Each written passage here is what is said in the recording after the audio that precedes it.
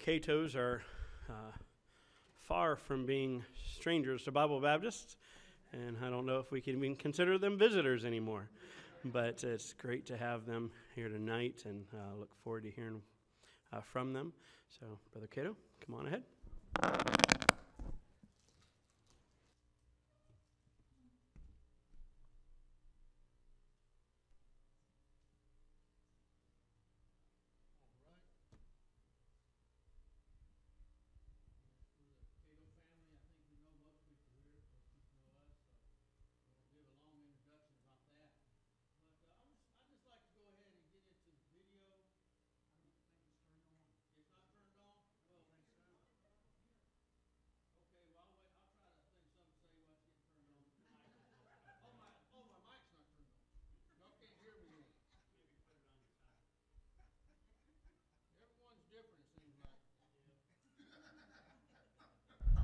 Got to turn green, right? Is on? Okay, amen. Praise the Lord, amen. I don't know why they have standby on these things, but uh, yeah, we. Uh, I'd like to just go ahead and get into the video because I'm one of those, uh, like a lot of people. I'm not at a loss. I usually don't run out of things to say, and I don't know when to stop. So, and I'm from Alabama, so it takes me a while to. So uh, we'll just go ahead and get into uh, the video and let it uh, speak our ministry. I would like to say that to thank this church uh, had a big part in our lives. Of course, we started coming here visiting when our kids were little. And now they're all married. Praise the Lord. Last one got married about a week ago. So and, and so this church has a special place in our hearts. We appreciate you folks and and uh, what you do for the Lord and, and the part you've had in our ministry in prayers and also financial support. Uh, Like I said, I will go ahead and get into the video, and I'll say some more about our ministry after the video.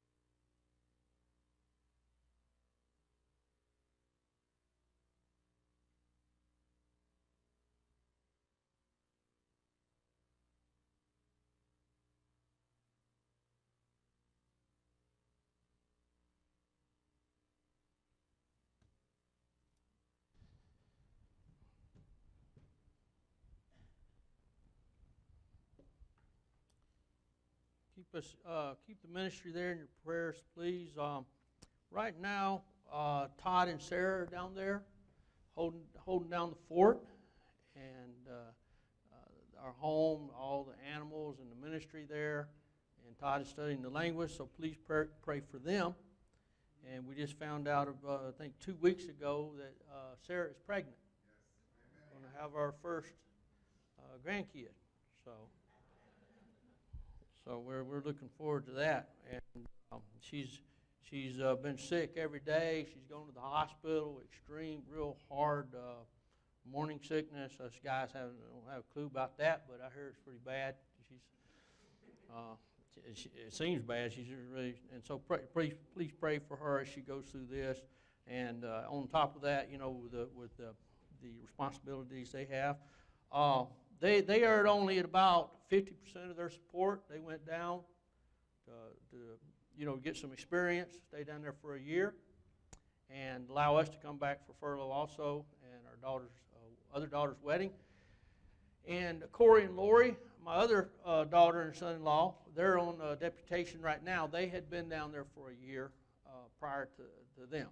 So please pray pray for them and, and uh, the, the ministry down there. The Lord would bless them and allow them to start church. It's, it's very, very hard work, uh, and, and uh, they're mostly Catholic and very self-righteous. Just to give you an idea how the people there think, they never, ever say, I'm sorry. If you hear one say, You're sorry, I'm sorry, or I was wrong, they don't. It's not in their nature. They don't do things wrong. Even if you, hey, look here, this, I, I could give you examples. It's just they're very uh, self-righteous, lost, and uh, on their way to hell, but uh, good people. They think they're good. Of course, they're steeped in sin, uh, like many people are uh, self, self-righteous people. But I know that uh, God that God can break their hearts. So please pray for the ministry down there, and our, our kids to get their uh, support. Uh, Corey and Lori about 75% of their support. So please uh, pray for them. All right, let's uh, get into the message here. Uh, if you would stand, please, and look in the book of Numbers, chapter 16. Numbers chapter 16, starting with verse 41. Number 16, chapter 16, starting with verse 41 through 50. But on the morrow, all the congregation of the children of Israel murmured against Moses and against Aaron, saying, Ye have killed the people of the Lord. And it came to pass when the congregation was gathered against Moses and against Aaron that they looked toward the tabernacle of the congregation and behold, the cloud covered it, and the glory of the Lord appeared. And Moses and Aaron came before the tabernacle of the congregation. And the Lord spake unto Moses, saying, Get you up from among this congregation, that I may consume them as in a moment. And they fell upon their faces. And Moses said unto Aaron, Take a censer and put fire therein from off the altar, and put on incense, and go quickly into the congregation and make an atonement for them. For there is no wrath gone out from the Lord, the plague is begun. And Aaron took as Moses commanded, and ran into the midst of the congregation. And behold, the plague was begun, begun among the people, and he put on incense and made an atonement for the people. And he stood between the dead and the living, and the plague was stayed. Now they that died in the plague were 14,700, beside them that died about the matter And Aaron returned unto Moses unto the door of the tabernacle of the congregation, and the plague was stayed. Let's pray. Father, we thank you so much for allowing us to meet here tonight, Father. And uh, I don't take it lightly. This is your business, and it's important. God, touch our hearts tonight. Help us, Lord. Encourage us challenge us to do your work that you've called us to do, Father. That's why you left us here. God help us. Bless the message and bless the hearers. In Christ's name we pray. Amen. You may be seated. You know, have you ever have you ever uh, done a what if. You know, what if this had happened? Or what if uh, that had happened? Or what if we had left the door open or whatever? I'll give an example. One time I was in uh, Oklahoma City and we were staying in a mission apartment in kind of a bad area, okay? I mean, the people selling drugs across the street, just a really bad area, okay? Uh, and uh, one evening I, I uh, had to leave. I took off from some, to somewhere I forget. It was years ago. And when I left, my, my, uh, later on my wife called me and told me what happened. She said it was in the evening, getting dark, or was dark. And when I left, she said, when I left, somebody came and tried to open the door to the house. They didn't knock, they just tried to open the door. But the door was locked. Amen? You, you, you folks in Columbus probably lock your doors. if you don't, you should start. Amen? And then, what if I had not locked that door? What if? What were their intentions? I'm sure it wasn't good. My wife at home by herself. As soon as I left, they saw me leave.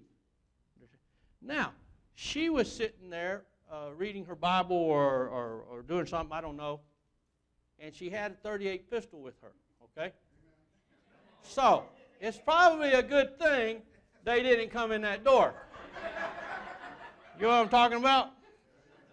But what if she didn't have a gun? And what if the door was not locked? I mean, I mean, we can watch, and we do that sometimes. It's just human nature. What if this, or what if we'd have been there? We, you know, uh, maybe we'd have found that money instead of the other person. No, no just anything. You, you, can just go on and on and on. What if? And I, and I was thinking about that. Uh, when I was reading these verses, and I saw this, uh, you know, uh, when God was killing the people there, of course, he had killed Korah and the other people. And I thought, what if? What if Moses wasn't in contact with God when that happened? What if they, they said to take a censer? What if, what if if he couldn't find Aaron? We need to find Aaron because people are dying left and right. And he needs to take that censer and put fire therein and go forth between the living and the dead. What if? One time, uh, down in Brazil, uh, we went to this area called Santa Maria, uh, Rio Grande do Sul, uh, years ago. And we found out after we got there that three missionary families, independent, fundamental Baptist, King James only, amen, like we are, had gone to that same area and tried to start a church. Three families a team. One veteran missionary and two uh, younger uh, first time missionaries. They went to that city, and we found out because when we were living there, they said the missionaries lived right over there, right where, next to where we were renting. And, they, and, and the, uh, two of the missionary families quit in less than a year. They said, We can't take it. The culture, the shock, you know, you can't talk to anybody hardly. The, and even if you can, you can't, it's hard to get in with the people. And, and, and they, they just quit. The, the veteran missionary family, I won't say his name because he's actually a pastor today. He's retired, I believe. He stayed another year. And within two years, these, all these missionaries quit being missionaries. Now, can you imagine all the money that it took to get these three missionaries on the mission field? Can you imagine the hours and hours and hours of on the phone calling to get meetings, uh, deputation, uh, the, the traveling hundreds and thousands and thousands of miles and the wear and tear on the cars to get these three missionary families to the field? so that they could tell people about Christ, so that they could start a church. Could you imagine it's a lot. Thousands upon thousands of dollars of churches like this, good churches. And I'm not talking bad, don't get me wrong, I'm not talking bad about these missionaries. No. I believe that they really wanted to serve God. I believe that they had a heart and, and, and they said, Oh, God's going to use us, and God's called us to be missionaries. I know the one, he's a, he's a pastor, a good, good preacher, actually. But, uh, eh, eh, but I, am sure that their heart was in the right place and so forth. But uh, all that went in, and they went down there, and they tried. No church. I don't know if anybody got saved. I don't know. No, maybe their heart was in it. Let me preach, okay? Okay, now, so, and and and ended up quitting and going home. Didn't you think? And we went to the same place. And I'm thinking, oh man, wow. so we're here. I, and, I'm no, and I'm no better than them, folks. No, no way. Oh, oh, he's a great. No, no, no. And when we found out about it, I told my wife, I said, wow, wow, you know, we're in the same area and they couldn't hack it. But, but I, will be honest with you. But I, I'm, I'm from Alabama. We'll make it. Amen. Alabama folks are tough. Got God on. Amen. I'm different. I'm a tough missionary. So I told some people, and I'm ashamed of this. I, I actually told people within a year we're going to have a church, brother. Brother, brother Yoder, I told people that. Within a year we're going to have a church. I'm different than them people. We worked hard. We handed out thousands of gospel tracts. We knocked on doors. We witnessed to people. I did everything but choke them. Get saved. Man, we rented a building. We had a team of of men come down from the Bible college. One of them ended up marrying one of my daughters, uh, Corey. And, and, and we went out and we worked hard. We had Bible clubs. We had a vacation Bible school. My, my wife had uh, um, uh, meetings with the children. We even had a group, and, and we worked hard. We had a group of kids coming, and, and, and I think up to maybe 20, 30 kids coming in the neighborhood and, and the Pentecostal church started a meeting at the same time, started a Bible club, and they started offering hot dogs and hamburgers and cake and stole all our kids. I'd had to give pizza and steak to keep them. You know what I mean? So, and we, we worked hard. And I'm going to tell you something. At the end of one year, we didn't have a church.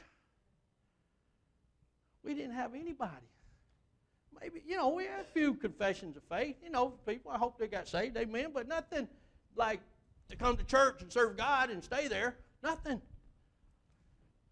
Wow. Three missionary families went down there.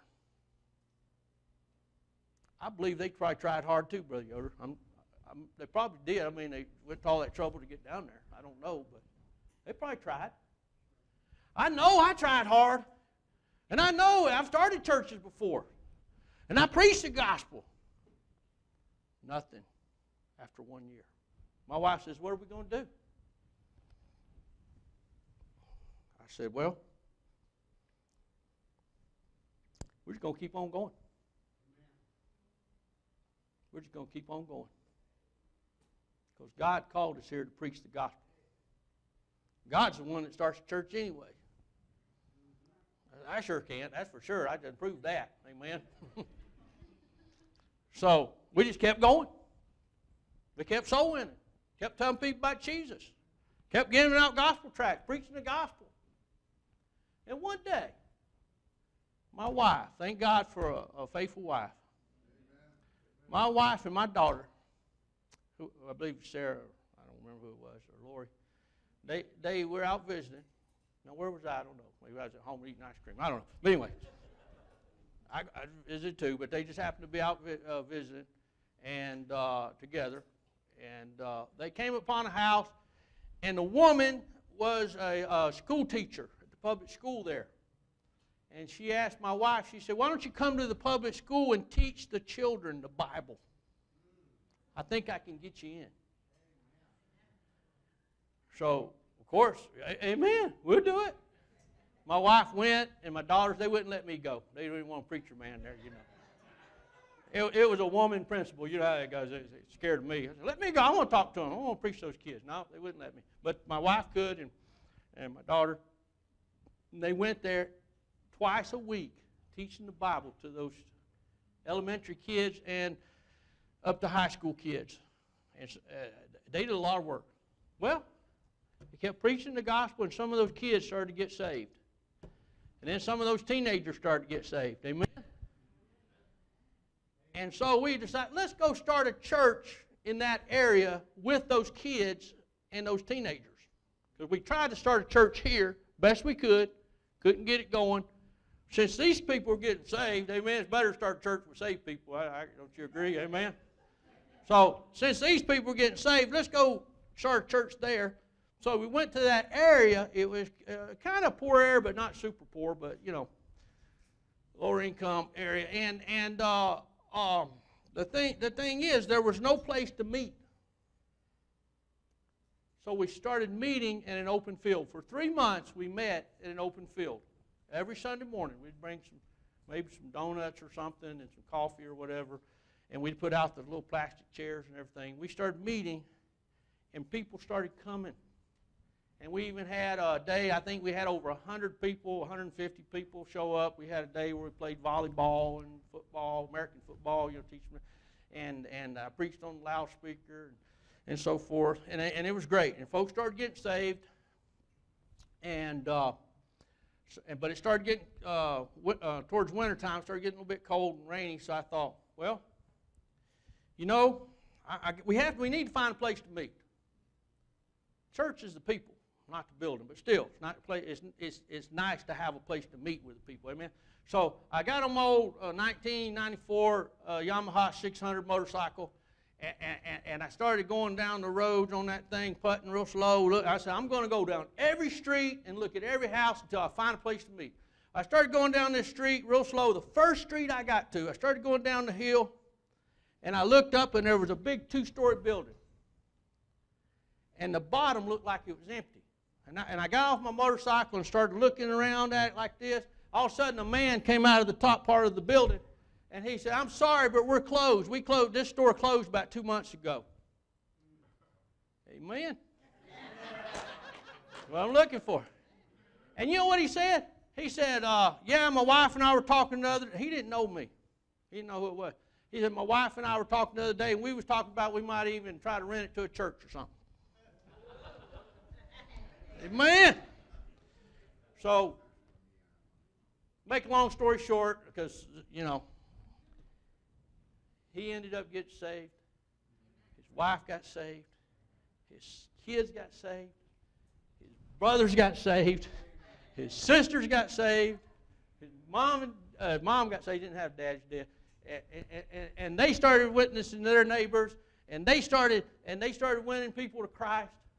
And, and oh, Giovanni's his name. Oh, Giovanni. That guy, man, he had a testimony like you wouldn't believe. He was two years into Spiritism, and he, he would uh, regularly be possessed by demons. It's some kind of testimony. Wow. Uh, in fact, he said the very first service we had, he, he didn't attend, but his son did. He was being attacked by demons. When his son went upstairs, he was trying to throw himself off and kill himself. And his son wouldn't let him they, I forget what they call it in Portuguese. It means incorporate, uh, uh, possess, yeah. But uh, but he got saved, and man, he's preaching deacon, you know, and he got and he, he even started going around doing Bible studies and winning people to the Lord. I showed him how to do that. And we trained him and his wife. His little his little wife, uh, about that tall, she one of the shortest people I ever met, man. I tell you. One time, one time I accidentally patted her on the head when she came in church. I said, "Oh, I'm sorry. I thought she was a, I thought she was a kid, but she, she was so shy. And, and Diane said, I need to train a Sunday school teacher. I said, uh, um, I'm going to get uh, Giovanni's wife. What was her name? Uh, Giovanni's wife. And I said, uh, I said, you, she can't be a Sunday school teacher. Look at her. She's scared of her shadow. And she said, no, I'm going to train her. I'm going to tell you something. Diane trained that lady, and she was one of the best Sunday school teachers I ever seen. That lady, she just filled that room up with little kids, man. She'd go out visiting, and man, she she preaching the gospel to. And I was like, oh, faith. That's what it takes. And, and the church, and the church, well, I'm, I'm not any better than those, but I'm going to tell you something, folks. What if? What if we had quit after one year? What if they'd have stayed? What about you? What about you? That's just that's just introduction. But don't worry, my introduction is real long, and, and my preaching is about this big. So don't worry about that. It's about as long as my preaching actually. But uh, you know, what if? What if we weren't faithful in going out? What if we would have stayed home? What if Diane hadn't gone out that day? What if she hadn't met that lady? What if the, we hadn't went by faith and started meeting in an open field? Because hardly anybody does that anymore for sure. What if we just say it can't be done? What if? What if? And you could go on and on with the what if. I just want to look at some things very quickly uh, about the, the, the, the story here with uh, Moses and Aaron. Uh, for one thing, the multitude was against them. In verse 41, it says, uh, But on the morrow, all the congregation of the children of Israel murmured against Moses and against Aaron, saying, Ye have killed the people of the Lord. They murmured, they were against them. I'm going to tell you something. You're not going to be the most popular person on the street or in your family if you serve God. People are going to think you're weird. I remember when, when we were, uh, uh, what if? What if we would have bent the pressure of my family? I remember when I was called to preach, uh, and, and I told my dad I was going to be a missionary. He called me a fool. He said, You don't even have enough money to go across town, much less around the world. I thought, Well, he's right. You know, I didn't have money, I was broke. But I said, But Dad, God's called me to be a missionary. I'm going to be a missionary. And, and, and uh, people are going to hate you, people are going to make fun of you. Uh, the Bible says in John chapter 15, verse 18, if the world hate you, you know that it hated me before it hated you. If you were of the world, the world would love his own. But because you're not of the world, but I've chosen you out of the world, therefore the world hateth you. What if old Moses and uh, Aaron, they looked out at the crowd that was all mad. What if they gave in to them? What if they quit because it was too hard? Man, can you imagine the pressure and the stress that was on Moses? What if they'd have quit? And why would they want to help people that were against them anyway? Wow. Down in Brazil, I'm going to tell you something. I'm not going to talk bad about Brazilian because people are people. Everybody's bad. Everybody. But I'm going to tell you, it's different down there. When I came back to the States, I have more culture shock when I come back here because I'm going walking in Walmart and people are walking, I'm not kidding you, this far away. And they're saying, Oh, I'm sorry. I'm saying, You didn't do anything. What are you talking about? I'm sorry. Because they, you get close to them or something. I'm sorry. Sorry for what? A Brazilian will run into you, bam, and they won't even say anything. yeah, I'm serious. I'm, I'm, not, I'm not exaggerating. They're like, bam. They'll, they'll just look at you. Yeah. I'm like, I'm like, why are people so nice? And I'm from the South. I thought I, I always thought Yankees were mean. You know, they're nicest people. I told, I said, man, are we down south? These people are nice. You know, you, you go, you go, you go to, get a parking space, and all of a sudden a, a person comes up and you're about the same time, and they go, oh, you go ahead. What? In Brazil, it's like, beep, beep, beep, you know. Oh, uh, yeah and self righteous and, and, and talk bad about America, jealous and envy. Why would I want these people to get saved? Mm-hmm. Sometimes it's not easy to love people, is it? And they're the ones that are going to be the meanest to you. And here you are trying to help them, tell them about Jesus. Amen. I mean, look at the way they were treating Moses, uh, treating Moses, talking bad about him until God, the wrath of God fell. And guess who helped them? Amen. We're the only ones that can help, the ones that have the gospel. Another, another thing, very quickly here, verse 44. It said, and the, and the Lord spake unto Moses, saying, God spoke. Folks, that is the answer. That is always the answer. Hebrews chapter, it doesn't matter. In the end, it doesn't matter what you say, what I think, you think, what people say, what they don't, what we say.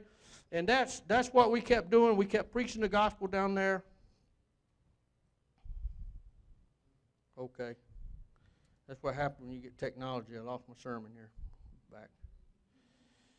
Okay, God spoke. For the word of God is quick and powerful and sharper than any two edged sword, piercing even to the dividing asunder of soul and spirit, and of the joints and marrow, and the discerner of the thoughts and intents of, of the heart. God it was speaking then, and God is still speaking today, and we better be listening. What if they were not listening? What if they were too busy to hear what God had to say? What if they had decided to change God's Word? Today, there's people changing God's Word. I don't know about you, but I, I just believe God's Word. Uh, God was angry. And they knew it. And God is still angry today. I don't know. A lot of a lot of stuff's going on. Y'all might not know about it because you're in a good church, but there's a lot of churches out there. God is love. God is love. Yeah, God is love. But the Bible also talks about an angry God, the wrath of God. You know what?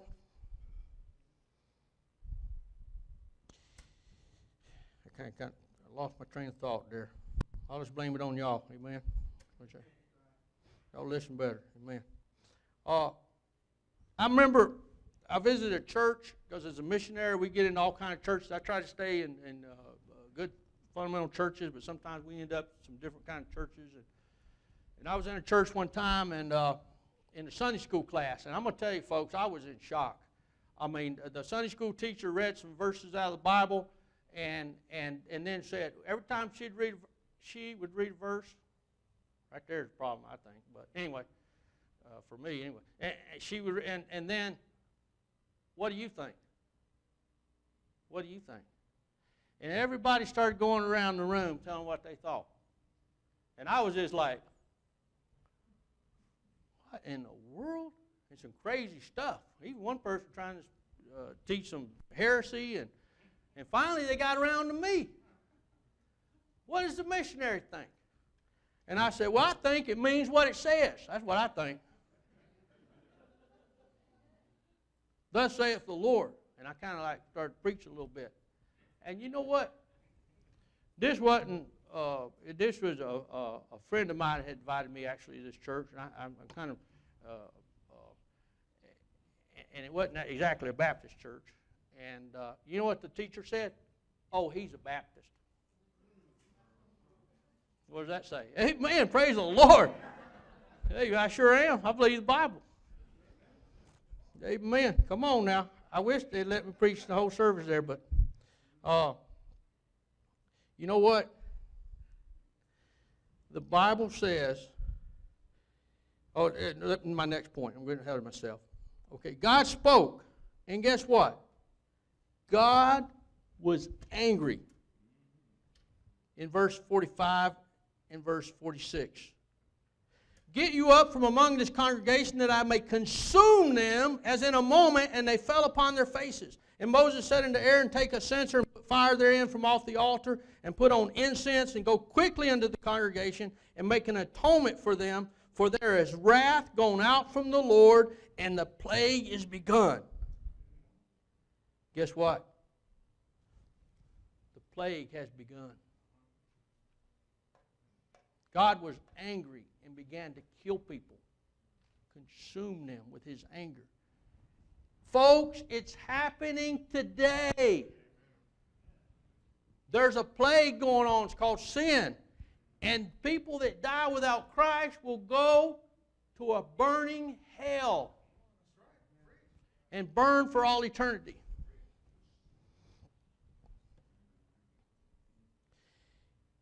In, in John chapter 3, verse 36, he that believeth on the Son hath everlasting life. He that believeth not the Son shall not see life, but the wrath of God abideth on him.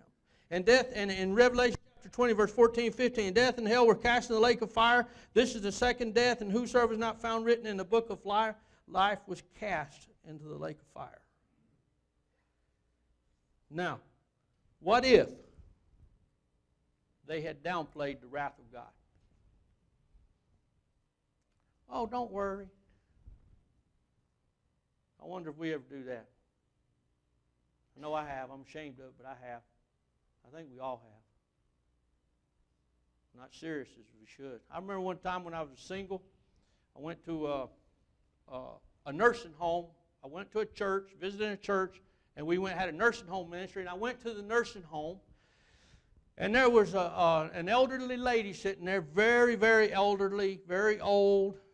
And uh, I'm not talking bad about old people because I'm, I'm getting there. We all get there one day, man.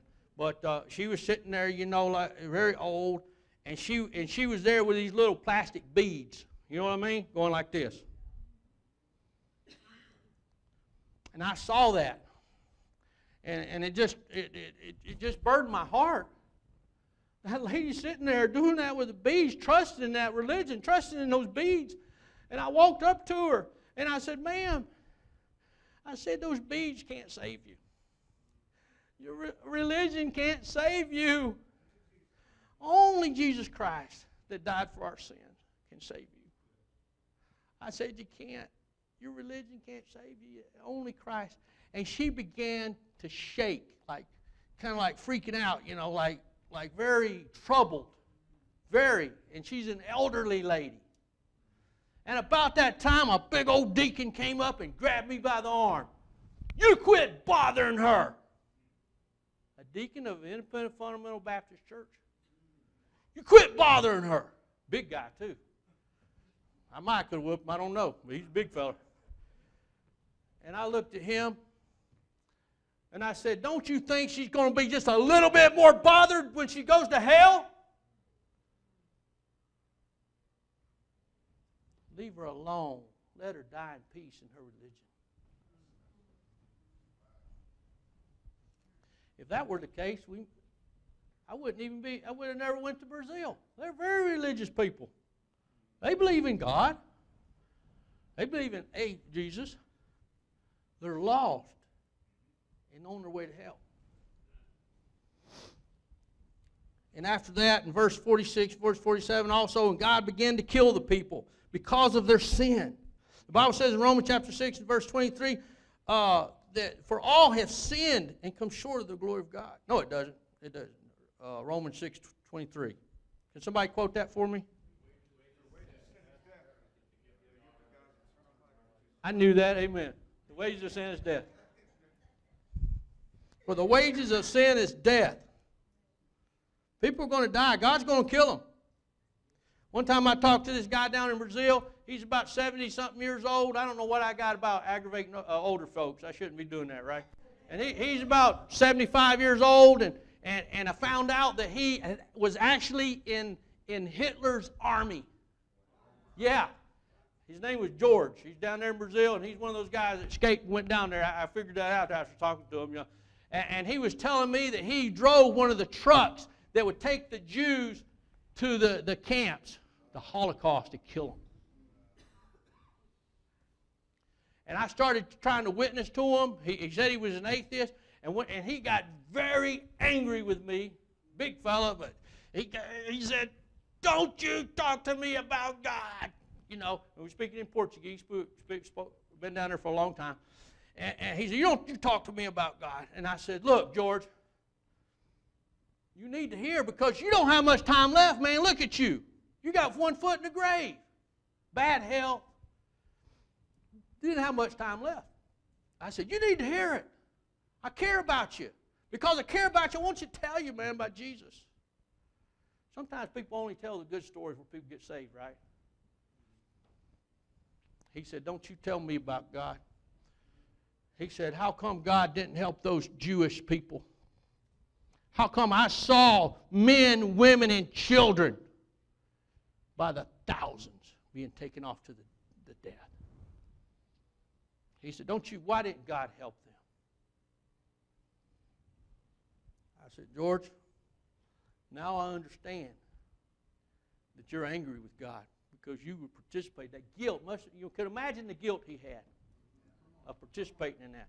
And he said, and I said, so let me get this right. You're angry because God let those people die. I got news for you. God kills everybody. You ever thought about that? Everybody here? And everybody out there? That's right. You get mad at God because somebody dies? Why did God take my son? Why did God take my daughter? I got news for you. You're going to. And your other brother and your other sister and your other kids. The wages of sin is death. The wages of sin is death. And God was killing those people. And God's still killing people today. We always hear God's love, God's love. Yes, He is love. But if, a person does not accept Christ, they have they die and then they have a second death in hell where their souls cast into hell.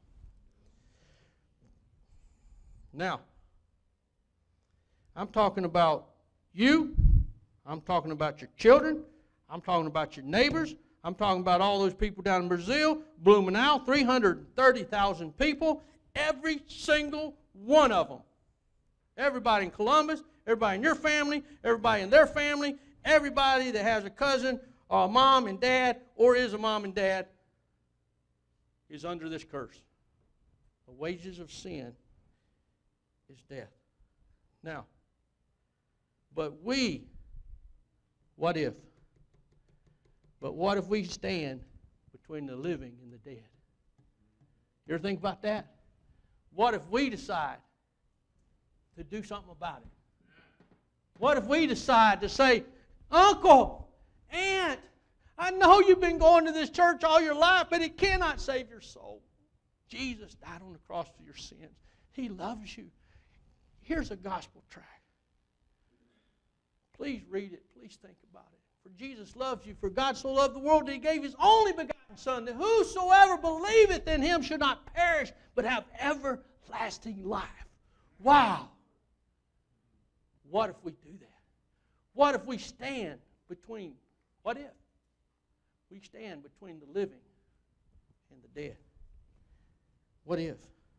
What if it was your family?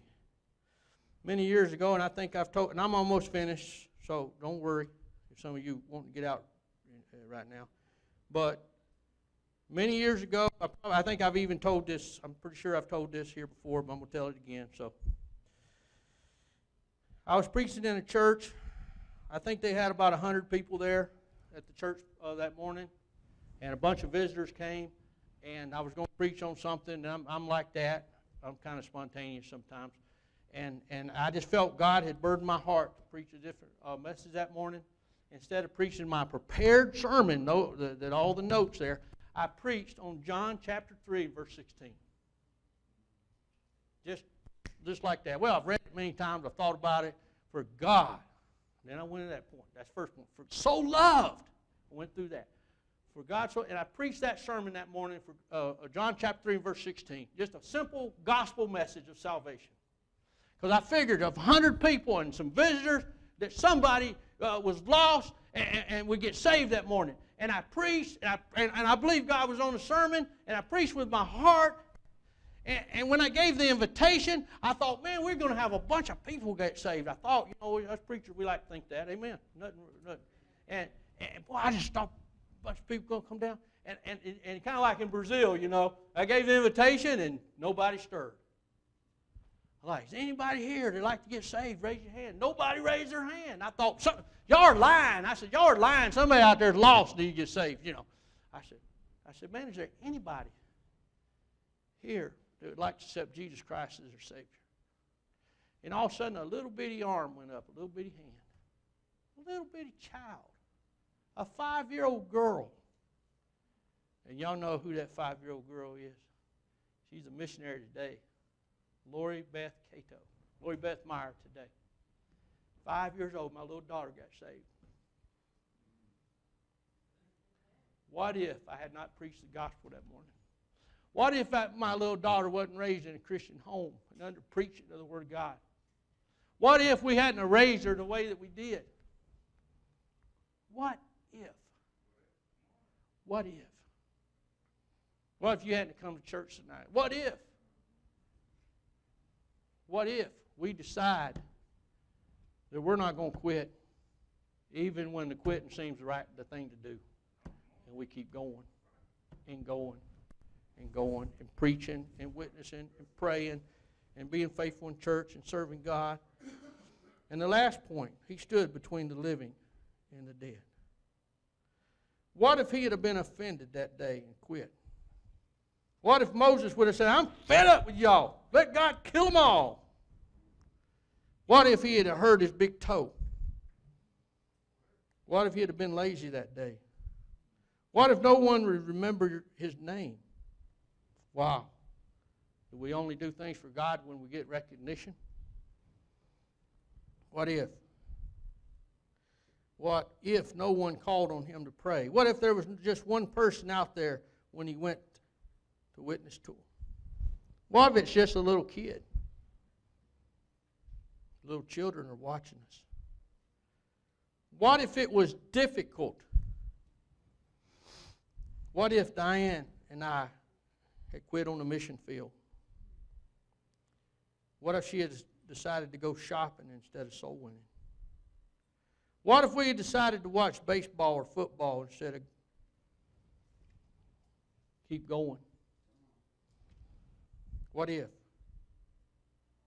What if churches like this had not been praying for us? What if churches did not? What if the people hadn't given? And what if the churches hadn't sent their support? And we'd have had to come home because of lack of funds? What if? Folks, there's more Giovanni's out there. There's people right now where only you and I can make a difference. In Brazil, other mission fields, in the United States, there's somebody out there that only you can reach. They won't listen to anybody else. Or they might have not have contact with anybody else. What if? What if? All right, let's pray. Father, I thank you for loving us, Lord, and I thank you for this church, Bible Baptist Church. God, help us all, Lord. I, I know that we all fail. Nobody's perfect. God, I pray that this evening that we just uh, decide to try to do a little bit more. We're not believe we don't believe in works or work salvation. But what if we do our part in trying to serve you and obeying you in every area of our lives? Father, please help help uh, help us as missionaries, Lord, because it's not over. I believe if unless you take me home, Lord, I have many years left to serve you.